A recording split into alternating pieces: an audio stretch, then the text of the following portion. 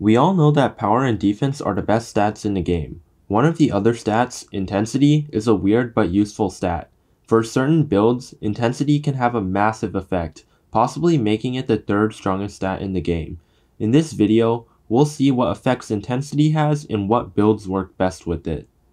Intensity is one of the six armor stats in the game, and its effects are rather strange. It increases status effect durations, increases size of puddles and clouds, increases the effect of auras, and decreases ultimate arc cooldown.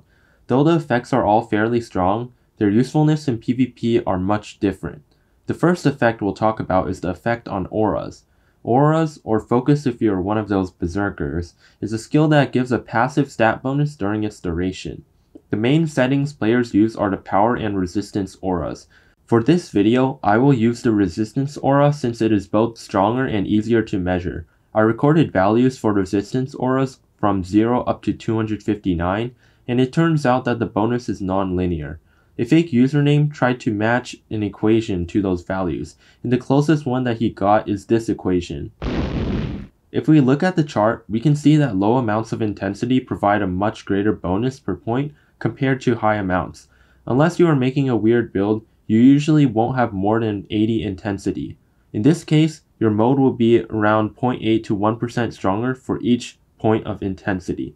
That might sound OP, but that just multiplies the aura bonus, not your actual health. For acid, defense aura only increases health by 18%, rounded up. At 259 intensity, intensity makes the aura about 2.36 times stronger, resulting in 42.9% bonus health. In terms of actual health, 259 intensity only gives 1.2 times more health compared to 0 intensity. This might make intensity seem a bit bad, except the fact that acid has pretty low aura bonuses. For metal, defense aura normally increases health by 21%, and with 259 intensity, it increases health by almost 49.5%. Mage aura is not the only skill that gets this bonus though.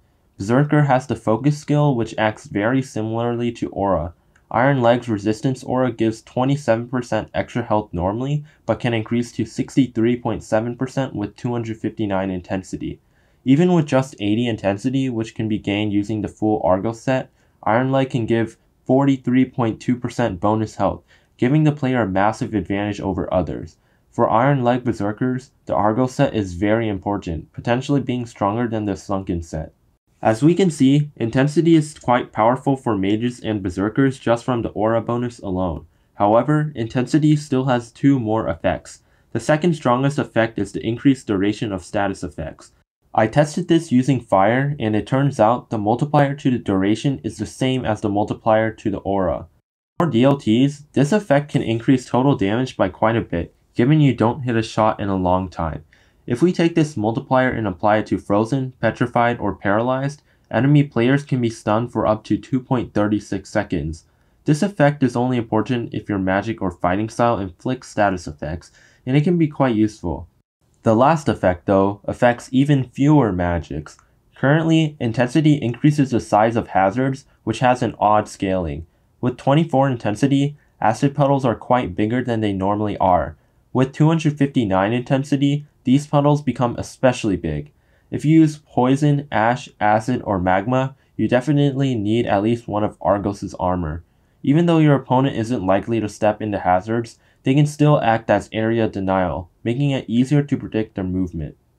Here's my build that I used to get 259 intensity. It uses some weird armor pieces such as the wolf set including the mountaineer's boots. The mountaineer's boots gives an insane amount of intensity at only level 100, as you can see, the puddles become massive and the aura becomes much more effective. This build is merely for showcase and the only viable intensity armor is the Argos set. Overall, intensity is a pretty strong but niche secondary stat. It can greatly improve damage or health gain from aura as well as make status effects last longer.